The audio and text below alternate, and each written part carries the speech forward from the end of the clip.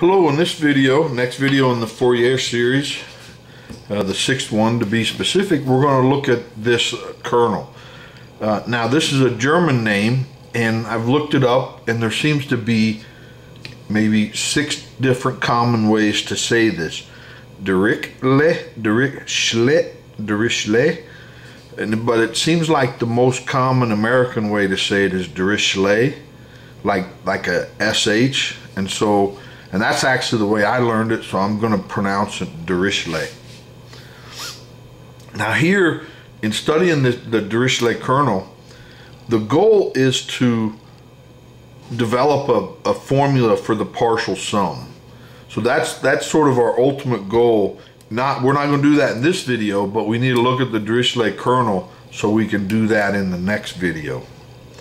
So you know, as you can see here, the normal Fourier series goes to infinity, but if we stop it at some n, then it's a partial sum. So to do that, we'll employ the Dirichlet kernel of index n. And this is it. And uh, so you can collapse these to a, a sigma notation. And when you look at a plot of these, it wiggles about the x-axis. And actually the more terms, meaning the bigger capital N is, the higher this peak tends to be.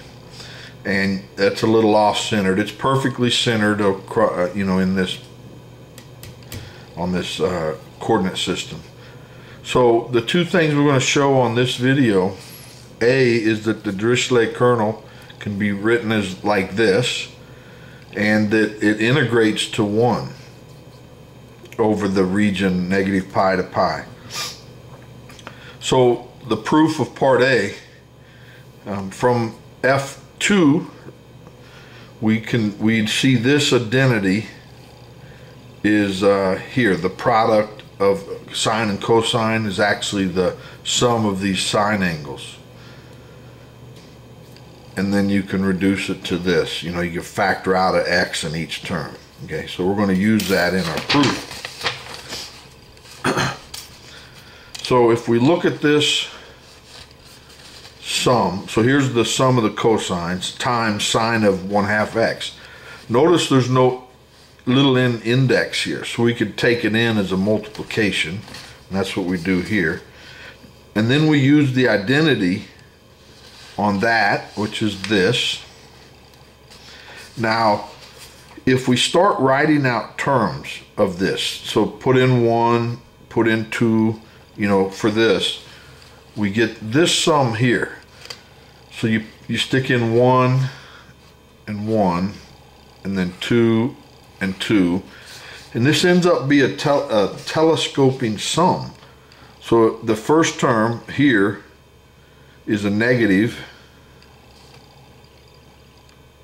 Oop, it's this term. So the first term here cancels with the second term here first term here cancels with the second term here. So it does on, on and on and on. So what's left is this one doesn't have anything to get canceled with, and then um, neither does this one. Well, so that's what it, this equals. So now, if we if we look at this uh, original sum and this, we can divide both sides by the uh, sine of 1 half x, and so we, we, we get minus one half here and then whatever that division is. And then we take that plus to the other side and we get this. Now this is, this is the Dirichlet kernel of, of uh, size n. Can be written like this or like that. They're the same thing. So now the proof of B, the integral of it. So let's integrate from 0 to pi first of the Dirichlet kernel. And then um, if we stick in this piece, you know, it's, it's the same. And then if we, or if we put in this piece, it's the same. But we'll work with this one. So the, the antiderivative of 1 half is going to be 1 half x antiderivative of each one of these terms is going to be sine over n and that's what we get here and we're integrating from 0 to pi So you stick in pi and you stick in zero. These are all zero. But then when you stick in pi here, you get one half pi, you know, with the original divide by one half, you get one half. And then we can do the same thing for the, the other piece of the integral.